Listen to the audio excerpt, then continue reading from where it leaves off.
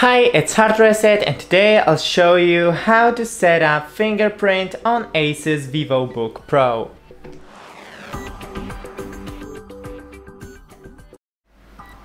So first, search for setup face sign-in and uh, or sign-in options. Then go into the fingerprint recognition and setup.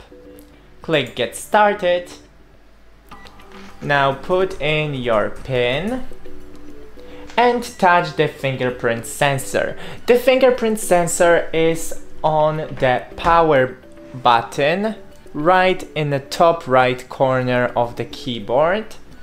So uh, let me just hold it, don't click it but because you will uh, turn off your device so just barely hold the button, just touch it gently and all set. That's it, don't forget to leave a like and see you in the next one. I'll just uh, show you that it's working. Yeah.